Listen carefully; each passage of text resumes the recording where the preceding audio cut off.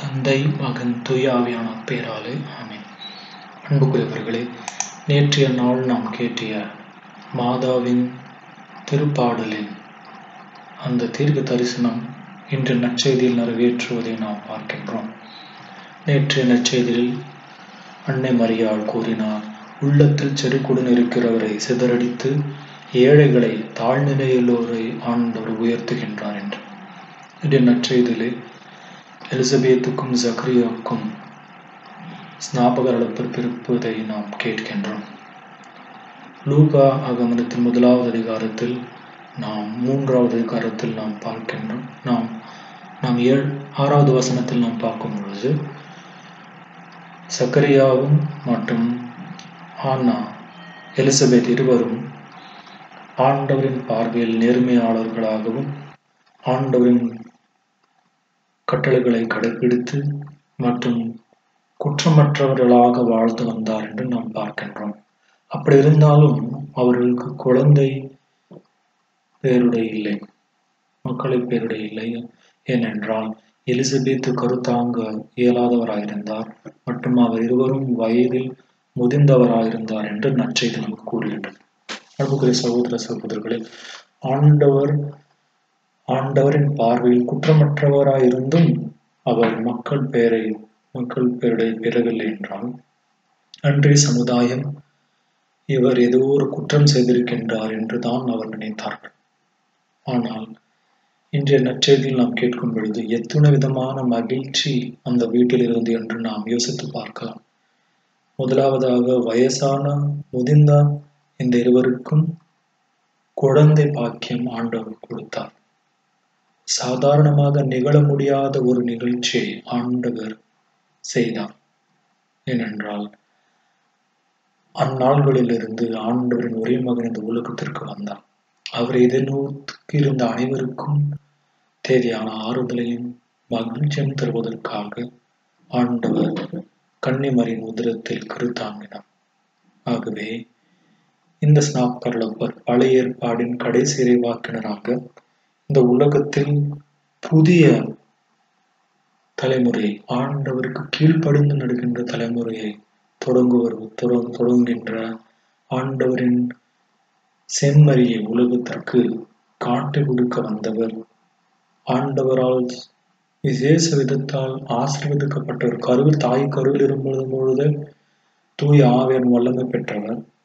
மற்றும் மெஸ்ஸாவின் போல சிறையில் தன்னையே தான் ஆண்டவன் இரத்த சாட்சியாக அர்ப்பணிக்கப் போகின்றவர் இந்த ஸ்நாபகர்லப்பர் எவ்வாறு ஆண்டவர் இயேசு கிறிஸ்துவின் பெயர் அன்னமராளிக்கு கபிரியல் வானதூதரிடம் கூடப்பட்டது அவ்வாறே யோவான் என்கின்ற பெயரை கபிரியல் வானதூதர் ஆண்டோர் ஆலயத்தில் அர்ப்பணம் செய்திருந்த பலி அர்ப்பணம் செய்து கொண்டிருந்த ஜக்ரேவுக்கு அளித்தார் அன்புக்குரிய சகோதர சகோதரிகளே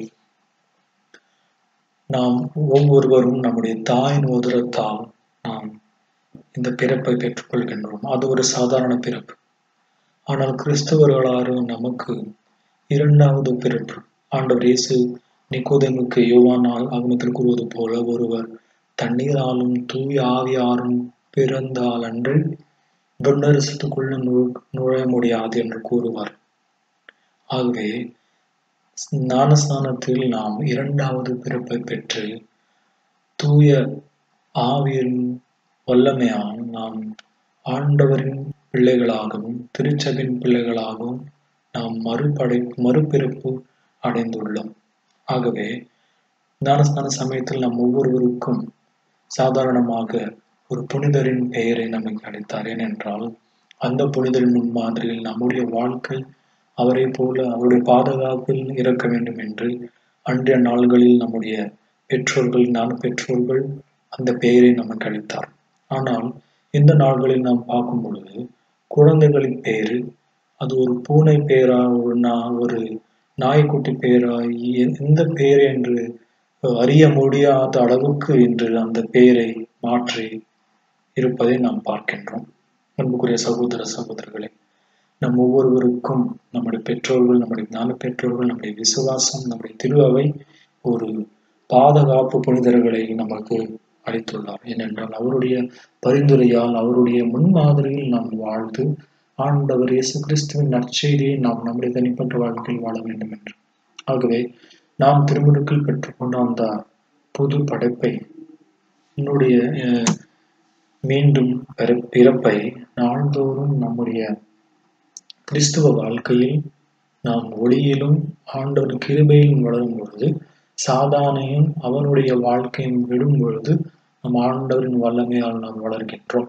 அவருக்கு விசுவாசிகளாக அவருக்கு சான்று பகிர்கின்ற வாழ்க்கையை வாழ முடியும். ஆகவே நாம் கிறிஸ்து விசுவாசத்தின் பெற்றுக்கொண்ட இந்த பாக்கியத்துக்காக ஆண்டவரின் இரத்தத்தால் கழுவுப்பட்டதுக்காக ஆண்டவரின் திருச்சிலுவின் இரத்தத்தால் நாம் அபிஷேகம் செய்து இந்த உலகத்திலே மறு உலக வாழ்க்கையை வாழ அழைக்கப்பட்டதுக்காக நம்ம இருளிலிருந்து ஒளியிடம் நம்ம அழைத்த அந்த ஆண்டவன் வல்லமைக்கு நன்றி கூறி நம்மை நாம் அர்ப்பணித்து ஜெபிப்போம்.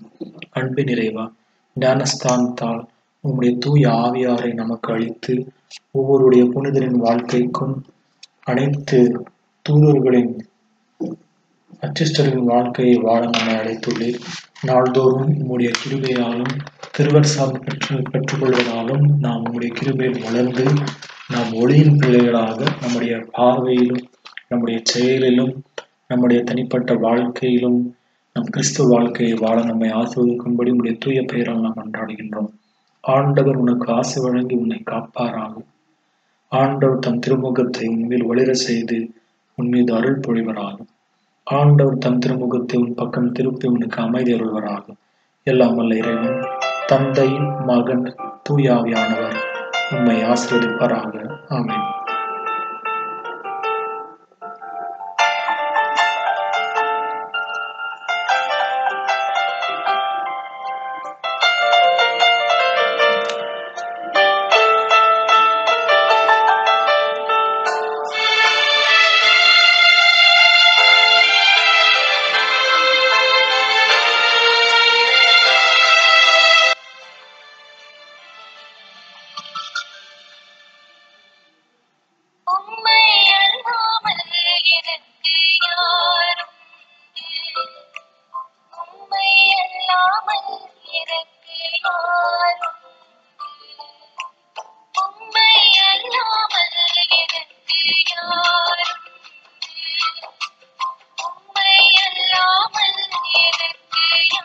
Bye.